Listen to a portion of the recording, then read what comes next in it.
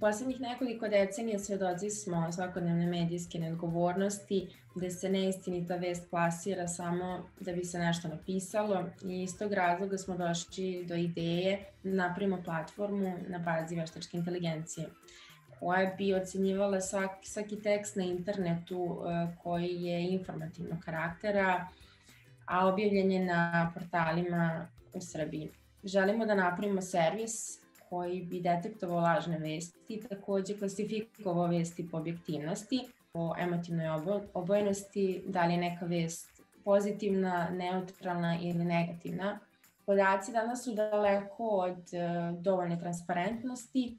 Uh, kod nas je ova tema tek u, u povoju gde je cilj razvoj uh, trust, open, open trusted interneta koji će omogućiti mnogo veću transparentnost, to jest otvorenost i dostupnost adekvatnih informacija i sadržaja.